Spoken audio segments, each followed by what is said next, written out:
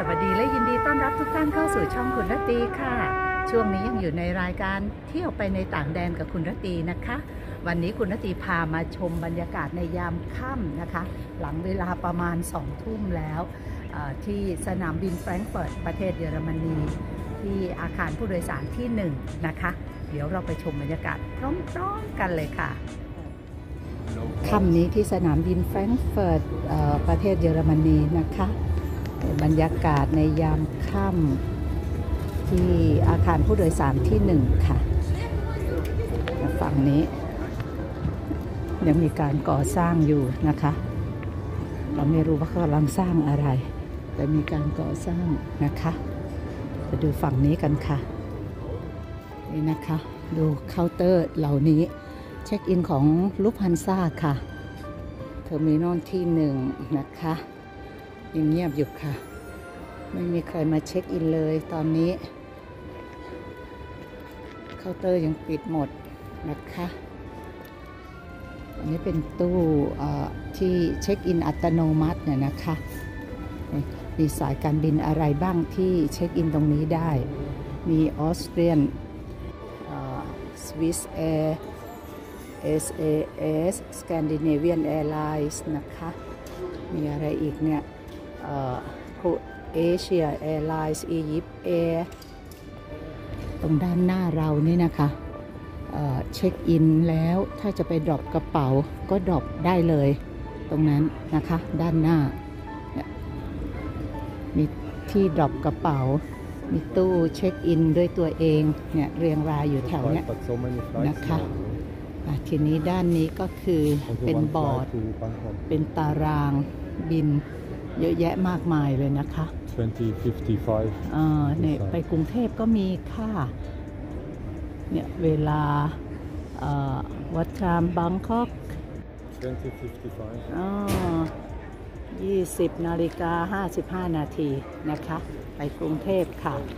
กรุงเทพ Bangkok สุวรรณภูมิ airport นะคะ ของ TG ของสายการบินไทยค่ะเนี่ย ทางฝั่งของ Lufthansa นะคะเขามี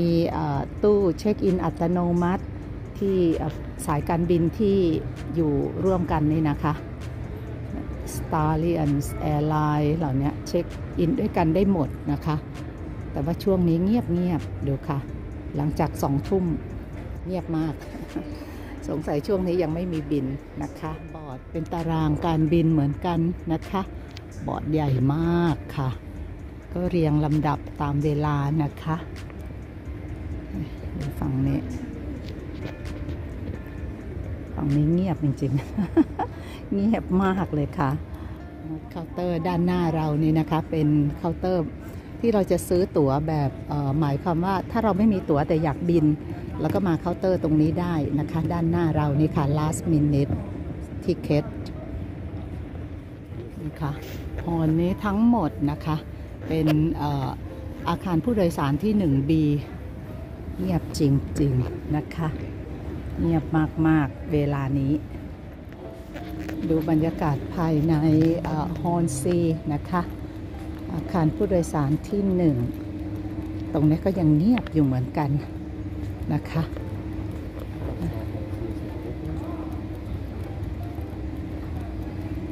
เงียบเชียบ ผู้โดยสารไปไหนหมดเนี่ย สงสัยเข้าไปข้างในหมดแล้วหรือเปล่าคะ เงียบจริงๆ นี่ค่ะ ภายใน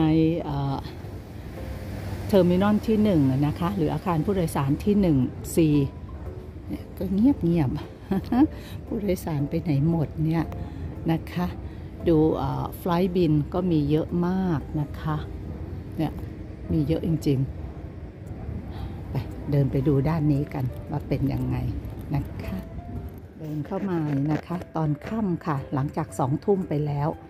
ดูเงียบเชียบจริง ๆ ร้านขายของต่างๆ ในเป็นดิวตี้ฟรีนะคะ ก็เงียบนี่ค่ะ เงียบจริงๆ ดูภาพ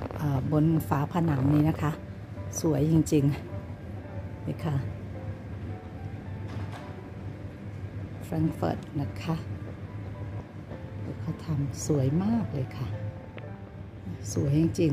ๆนะคะนะคะแฟรงก์เฟิร์ตประเทศเยอรมนีค่ะนะคะเดินเข้ามาข้างในนะคะ ร้านต่างๆ ร้านขายของร้านกาแฟ แถวเนี้ยปิดหมดแล้วค่ะนะคะอันนี้ซีหนึ่ง มีคนเดินอยู่ค่ะ อยู่ฝั่งโน้น ไม่เงียบเท่าไหร่นะคะหมองที่เขาจัดไว้ที่ทางเดิน ก็จะประมาณนี้นะคะ ร้านต่างๆ ปิดหมดแล้วค่ะ ตอนนี้หลังสองทุ่มนี่เงียบเลยค่ะ ปิดหมดแล้วช้อปปิ้งไม่ได้แล้วค่ะ ตอนนี้นะคะ มันเงียบมาก มีผู้โดยสารบางส่วนนะคะที่มาถึง แล้วเขาก็เอ่อจะลงไปตรงที่รับกระเป๋าค่ะ มีที่ลงไปสายพานรับกระเป๋านะคะนี่ค่ะเดินออกไปคนที่มาถึงแล้วนะคะมีผู้โดยสารที่กำลังเข้ามา เดินออกมาแล้วค่ะ ด้านล่างก็คือลงไปตรงเนี้ยไปสายพานรับกระเป๋านะคะเห็นไหมคะอย่างร้านกาแฟหรือบาร์ตรงเนี้ยก็ปิดแล้วค่ะ เงียบเชียบเลยนะคะ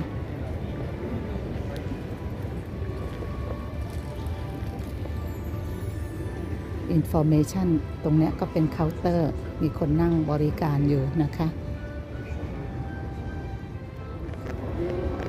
ตรงนี้ก็มีบางร้านยังเปิดอยู่นะคะ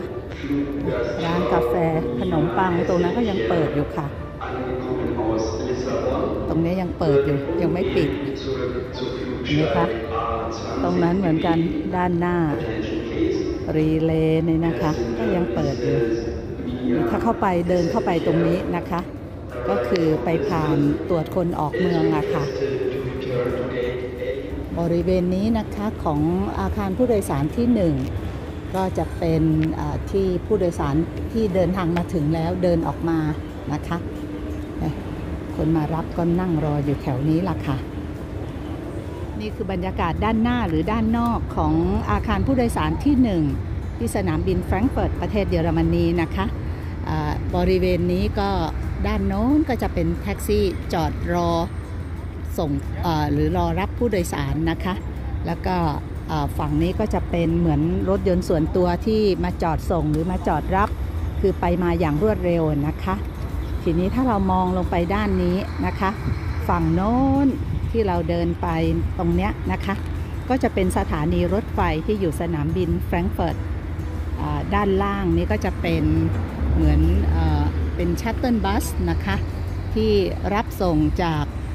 อาคารผู้โดยสารที่ 1 ไปอาคารผู้โดยสารที่ 2 นะคะ บริการฟรี ส่วนด้านล่างก็จะเป็นที่จอดรถนะคะเนี่ยตรงเนี้ยจอดรถมารับมาส่งกัน ถ้าใครจอดนานหน่อยก็เสียเงินค่าจอดอะไรประมาณนี้นะคะนี่ค่ะในยามค่ำนะคะ ที่